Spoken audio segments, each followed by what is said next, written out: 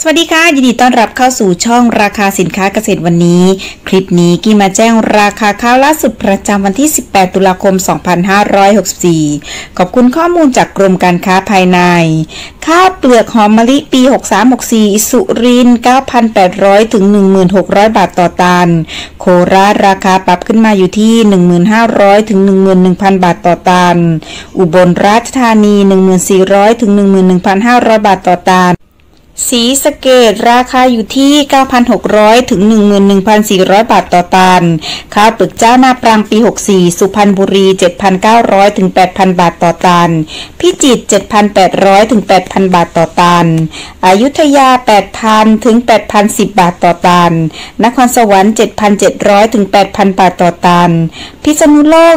7,700 ถึง 7,800 บาทต่อตัน ข้าวเปลือกปทุมธานีนาปรางปี 64 สุพรรณบุรี9,400 ถึง 9,600 บาทต่อตัน ชัยนาท 9,700 ถึง 10,000 บาทต่อตัน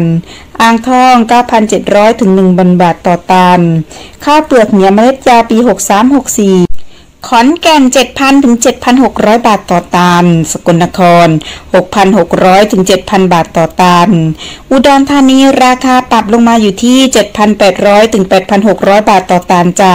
ไม่เห็นราคาข้าวเปลือกณความชื้น 15%นะคะ ต่อกันที่ราคาข้าวสารข้าวหอมมะลิ 100%ชั้น 2 เก่า 2,340 ถึง 2,350 บาทต่อ 100 กิโลกรัม